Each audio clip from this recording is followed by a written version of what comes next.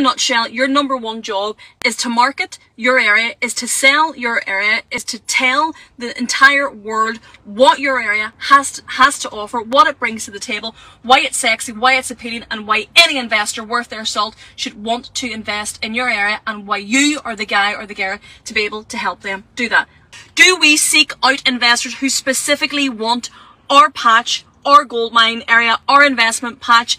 Within their investment criteria. Here's my two cents on it, guys. When it comes to being a property sourcer, when you're a deal packager, what you want to do, your job first and foremost is to sell your area so that it becomes sexy, so that it becomes appealing, so that it becomes desirable to investor clients irrespective of A, where they're based or B, where they have invested before. So it is your job to educate the market, to educate the investors, to sex up your area so that people say, actually, I want what John, Paul, Peter, Danielle, Amy, Garth, Rebecca has to offer. Okay, so do not be concerned that you must only bring investor clients into your business or that you must only try and find investor clients who only want to invest in your area. It is your job as a deal packager, as a property sourcer, as a portfolio building specialist.